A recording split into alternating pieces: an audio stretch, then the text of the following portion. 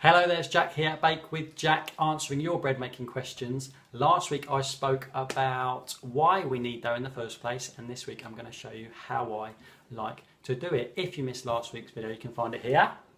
And my doughs are ready to go. I've mixed the wet and the dry ingredients, and it's ready for the next stage, which is kneading. Let's go. Okay, my dough's mixed up. It's a little bit of a mess at this point, which is normal, don't worry. Pop your scraper there because you're going to need it pop your watch off because you might lose it and this is how I knead the dough. I use the heel of my hand, this one here, to push the dough up across the table like this and then lift it, put it on the top. Push, lift on the top. So all my hand is doing essentially is a great big circle, right? Push forwards, up and back, like this.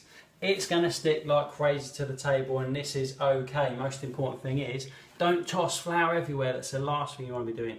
Keep it sticky like this, absolutely fine. Keep your scraper handy and just use your scraper and clean everything up every once in a while and continue. This is all we do.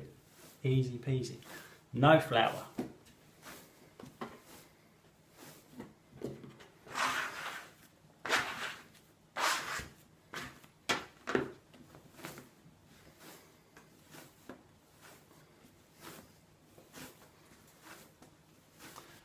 Continue kneading your dough at this style, at this pace for a good 10 to 12 minutes. And the best way to measure that time is to set a timer. Stick a timer on, turn it to face the other way so you're not watching it, and keep going for a good 10 to 12 minutes. Now, at, bit, at about six minutes, you're going to start feeling the changes. And that's another reason why it's such a good idea to put timer on, because at, at six minutes, everyone's thinking, oh yeah, nearly there now, I'm nearly ready, when actually you've got quite a long way to go.